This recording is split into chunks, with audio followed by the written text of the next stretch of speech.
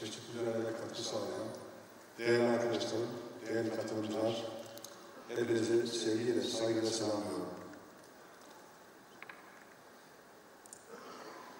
Bugün buraya yapılan toplantının çok önemli ve anlamlı olduğunu değerlendiriyorum. Ve Onun için de sözlerimin başında Ayşenli'nin Aselsan Yönetim Kurulu Başkanı, değerli arkadaşımız Haluk Görgün Bey'e sizler ve şahsım adına bu önemli ve anlamlı girişimden dolayı teşekkür ediyorum. Güç Birliği Zirvesi'nin ilk defa yapılmasıyla bundan sonra bunu yapılacağı anlamı çıkarmak mümkün ki bunu da e, çok yararlı olacağını, bu tür girişimlerin gelecek için önemli bir yatırım olduğunu da yine dikkatlerinize sunmak istiyorum.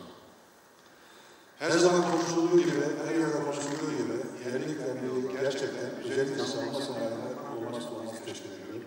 Bu nedenle de temanın da millileşme olarak seçilmesi de bu faaliyetin önemli bir özelliği olarak ortaya çıkmaktadır. Fırsatta dile getirdiğimiz bu millileşme konusu silahlı kuvvetlerimizin etkinliğinin, caydırıcılığının, saygınlığının artması, ülkemizin, gelecek nesillerimizin huzur ve güvenliğinin sağlanması, ekonomimizin ve savunma sanayimizin uluslararası alanda üst sıralara çıkması için e, tercih değil, bir zorluktur, bir şarttır, bir ihtiyaçtır. Ülkemizde maalesef millilik kavramını anlamayan, gücünün farkında olmayan, gücünün farkında olmayan, kendisine ve ülkesine güvenmeyen bazıları var ki bu zihniyet ülkemizde savunma sanayimizin istenilen düzeyde ve süratle gelişmesini engellemiştir. Yaşadığımız tecrübeler şunu açıkça göstermiştir ki kendi kaydını kendi çekmezsen bir yerlere gidemiyorsun. Sözünde de ifade edildiği gibi askeri gücünüzün imkan ve kabiliyetleri ülke kaynaklarından beslenmiyorsa, kendi işçiniz, kendi mühendisiniz tasarlayıp üretmiyorsa, bunları çağın ihtiyaçlarına göre geliştirmiyorsa, ülke güvenliğinizi tam anlamıyla sağlamış olamıyorsunuz. Kıymetli misafirler, bedel ödenmesine rağmen, bedeli, parası, peşin ödenmesine rağmen, dost ve müttefik dediğimiz ülkelerden dahi modern silah ve mühimmatın tedarikinde zorluklar, sınırlamalar, gizli ve açık ambargolarıyla karşı karşıya kalınmış ve halen de maalesef kalınmaktadır. Tarihten örnek vermek gerekirse, Kıbrıs Barış Harekatı sürecinde yaşadıklarımız ki Aselsan'ın kuruluş sebebi, biraz önce arkadaşlarım bahsettiler. Devletimizi savunma konusunda bağımsız hareket edecek politikalar üretmeye yöneltmiştir. O dönemdeki tecrübeler, Sayın Cumhurbaşkanımızın ifadesiyle kendi göbeğini kendimiz kesecek tedbirleri almak zorunda olduğumuzu idrak etmemizi sağlamıştır. İşte bu anlayışla kara, deniz, hava kuvvetlerini güçlendirme vakıflarıyla bugünkü güçlü savunma sanayimizin temelleri sağlam bir şekilde atılmıştır. Yüksek teknolojiye sahip harp silah araçlarını yurt içinde üretmek için atılan bu adımlar artık meyvelerini vermeye başlamıştır. Bugün geldiğimiz noktada Aselsan ile birlikte savunma sanayinde faaliyet gösteren dört firmamız dünya değerleriyle yarış hale gelmiştir. Darısı değerleriyle. Dünyanın en büyük 100 firması arasında yer alan bu savunma sanayi şirketlerimiz hepimizin, milletimizin bir bütün halinde gurur kaynağı olmuştur, olmaya devam etmektedir. Aziz milletimizin Türk Silahlı Kuvvetleri'ni desteklemek için dişinden, tırnağından arttırdığı maaşlarla Yaklaşık yarım asır önce kurulan bugün Anadolu'nun dört bir yanında küçük büyük binlerce sanayi temsilcisini araya getirerek sektörün gücüne güç katmayı hedeflediği bu dönemde zirvede eşsiz bir ahde vefa örneği sergilemektedir. Bu vesileyle Aselsan'ın bugünlere gelmesine desteğini esirgemeyen asil milletimize şükranlarını sunuyor, emeği geçen tüm arkadaşlarımı tebrik ediyorum. Aselsan'ın ebediyeti iddia etmiş tüm çalışmalarını ve kamuoyunu da yakından takip ettiği üzere elin bir şekilde kaybettiğimiz mühendislerimizi rahmetle anıyorum. Ailelerine şükranlarımı sunuyorum, yaşayanlara da uzun ömürler diliyorum. Bu arada Aselsan'ın kıymetli personeline birkaç hususu hatırlatmak istiyorum. Evet, başarılarınız bizleri çok gururlandırıyor. Ancak bunun yetmediğini sizler bizlerden daha iyi biliyorsunuz. Doğru yolda olsan dahi orada oturup kalırsan ezilirsin. Denildiği üzere sizler bu azimle ve çalışkanlıkla çok daha büyük başarılara ulaşma potansiyeline sahipsiniz. Aselsan dünyada ilk 10 şirket arasında görmek istiyor. Bu milletimizin hak beklentisi, bizim hak beklentisi. Bunun için milletimizin teveccühü, desteği ve duası bizlerin en önemli dayanağı olacaktır. Türkiye'nin yüksek teknolojili en büyük savunma firması olan Aselsan'ın sahip olduğu birikimle savunma ekosistemimizi daha da geliştireceğine, Aselsan'a ürün, malzeme sağlayan orta, küçük şirketlerin sayısının her geçen gün artacağını ve niteliklerinin gelişmesine bağlı olarak savunma sanayimizin tabana eğilip güçleneceğine inancım tamdır. Bu açıkça görülmektedir. Değerli katılımcılar, devletimiz yerli ve milli anlayışla savunma sanayinde büyük bir hamle başlatmıştır. Hepimizin takip ettiği, hepimizin gördüğü, bazılarınız da tam içinde olacak. Bu hamleler sonunda yerlilik ve millilik oranı yine bildiğiniz gibi yüzde yirmilerden yüzde altmış sekizlere, yüzde yetmişlere çıkmış bulunmaktadır. Bu oranı arttırmak için çalışmalarımız kararlılıkla devam edecektir.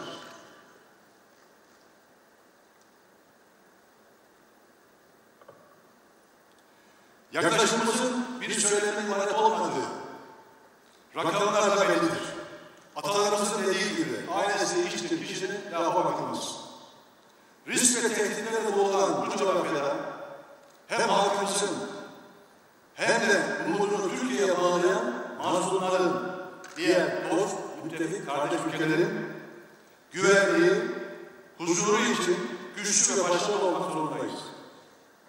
Güçlü ve başarılı olmak için de milli değerlerimiz ve menfaatlerimiz üzerine yükselen etkin, yerli ve yenilikçi bir savunma sanayi anlayışıyla çalışmalarımızı sürdürmek durumundayız.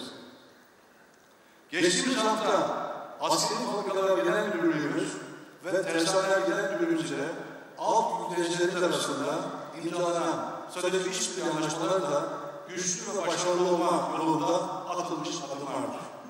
Yine bu alanda bugün Aselsan'ın zirve kapsamında millileştirme çalışmalarını birçok firmayla yüz yüze görüşmek, görüşerek yapacak olması da bence büyük önem arz etmektedir. Aktörlerin, rollerin ve hedeflerin yer değiştirdiği bu dönemde Türk savunma sanayinde kendisini her geçen gün değil, sürekli gelişmekte ve gittikçe daha güçlü bir konuma kavuşmaktadır. Bugün Pakistan'dan Milya, Katar'dan Fırtına, Ukrayna'da İHA, ihraç sözleşmeleri imzalar bulmaya geldik. Atak helikopterlerimize dünyanın her yanından ilgi göstermektedir. Hürkuş, başlangıç ve eğitim, e, temel eğitim uçağı, silahlı kuvvetlerimizin göz bebeği olmuştur, olmaya dair. Sınırlarımızı yerli ve milli harp araç ve gereçleri drone savarlarımızla korumaktayız şu anda. İlk uçuşunu gerçekleştiren Gökbey Genel Maksat Helikopteri seri üretim süreci yakında başlayacak. Bu da bizim için sevindirici bir haber olarak ortaya çıkmakta. Tüm bu gelişmelerin yanında dünyada ilk 100 listesine giren Türk firmalarının sayısı her geçen gün artmakta ve savunma sanayi cirosunun her bir önceki yıla göre artış göstermesi 2023 hedeflerimize doğru adım adım ilerlediğimizin de en açık göstergesidir, kanıtıdır. 2018 yılında savunma sanayi ve havacılık cirosu 7 milyar dolara ulaşmış, ihracat ise ilk kez 2 milyar dolar sınırını aşarak 2,5 milyar dolara yaklaşmıştır. Bunun yanı sıra savunma sanayi ihracatımız 2017'ye göre %17 artış gösterdiğini belirtmekten de memnuniyet duymak istiyorum. Ancak bu başarılara rağmen kat edeceğimiz, bölümde belirttiğimiz üzere çok mesafe olduğunun da altını çizmek istiyorum ve inanıyorum ki savunma sanayinde görev yapan, çalışan, vefakar, cefakar arkadaşlarımızın her biri de bunun tamamen farkındadırlar. Türkiye'nin küresel güç olma vizyonu çerçevesinde kamu, vakıf ve özel sektörümüzün işbirliği içinde olması ülkemizi hedeflerine daha da yaklaştıracaktır. Etkinlik, yerlilik ve yenilikçilik yaklaşımını kapsayan millileştirme süreciyle faaliyet gösteren savunma sanayimiz bu şekilde çok daha büyük başarılara imza atacaktır. Değerli katılımcılar, bu fırsattan istifadeyle Milli Savunma Bakanlığı'nın uygulamaları hakkında da sizlere bilgi vermek istiyorum. Askerimizin, personelimizin daha iyi ve kaliteli yiyecek tüketmesi için Tedarik Genel Müdürlüğümüz bir proje üretti. Onaylı tedarikçilik uygulaması. Bu başlangıçta böyle yiyecekten bahsedince biz savunma sanayiden bahsediyoruz, size eklemiyorlar. Fakat bu bir yöntem, bir model, bütün e, alanlarda kullanabileceğiniz bir yöntem. Bu proje kapsamında yeterli kriterlere haiz firmalar bünyemize belirlemek suretiyle yerli firmalarımızı tercih etme gayretindeyiz. Dün de kabine toplantısında Sanayi ve Teknoloji Bakanlığı'nın yaptığı sunum çerçevesinde bu millileştirmenin önemi üzerinde durulmuş, bu konu vurgulanmış ve bununla ilgili alınması gereken mali, hukuki her türlü düzenlemenin yapılması konusunda da mutabık kalınmıştır. Keza fabrikalarımızda, fabrikalarımızda da yerli ve milli ürünlerden istifade etmek ve yerli alımlarımızı gerçekleştirmek için onaylı tedarikçi havuzu sistemiyle ilerlemeyi sürdürüyoruz. Bu sistemdeki hedefimiz en doğru tedarikçi seçmek. İşbirliklerini uzun soluklu ve verimli kılmak, düşük lojistik maliyetli, esnek ve güvenli tedarikçi sağlamaktır. Yine bu sistemde askeri fabrikalarımızın yazılımından tasarımına, ilaç sanayinden argesine kadar ihtiyaçlarını yerli, yerli firmalarımızdan karşılamayı hedefliyoruz. Burada temel kriterimiz firmalarımızın teknik yeterliliği, kalitesi ve performansıdır. Tabii ki fiyatı. Başvurular araçsız olarak kabul edilmekte. Yapılan gizlilik sözleşmesi kapsamında tetkiklerden sonra gerekli kriterlere haiz olduğu belirlenen firmalarımız bakanlığımızın onaylı tedarikçi havuzuna kabul edilmektedir. Buradan tüm firmalarımızı, hepinizi, burada olanlar olmayanları, Milli Savunma Bakanlığımızın onaylı tedarikçi havuzunda yer almak için başvuru yapmaya davet ediyorum. Değerli katılımcılar, Aselsan Güç Birliği Zirvesi'nin devletimiz, milletimiz ve sanayicimiz için nice başarılar zemin oluşturacak bir organizasyon olmasını temenni ediyorum. Kamu, vakıf, özel sektör kuruluşlarımızın ve üniversitelerimizin tam bir uyum ve sinerji içerisinde çalışarak ülkemizin, gelecek nesillerimizin güvenliği için çok daha büyük başarılara gireceğine bütün kalbime inanıyorum. Bu zirve vesilesiyle Türk Silahlı Kuvvetleri'nin olmazsa olmaz olan savunma sanayinin gelişimine vermiş olduğu önem ve desteklerinden ötürü Sayın Cumhurbaşkanımıza şükranlarımı sunuyor. Yerli ve milli savunma sanayimizin gelişmesinde katkıda bulunan tüm kurum ve kuruluşlarımız ve bunların çalışanlarına teşekkür ediyorum. Tüm katılımcılara bir kez daha başta Aselsan Yönetim Kurulu Başkanı olmak üzere bu organizasyonu düzenleyene teşekkür ediyorum. Hepinizi bir kez daha sevgiyle, saygıyla selamlıyorum. Milli Savunma Bakanımız Sayın Hulusi Akar'a konuşmalarına ve katılımlarından dolayı teşekkür ediyoruz. Sayın Bakanımızı bir süre daha sahnede misafir etmek istiyoruz. Arz ederiz Sayın Bakanım. Bu arada hemen kürsüyü arkadaşlarımız alabilir, alabilirlerse bir maket takdimi olacaktır. Sayın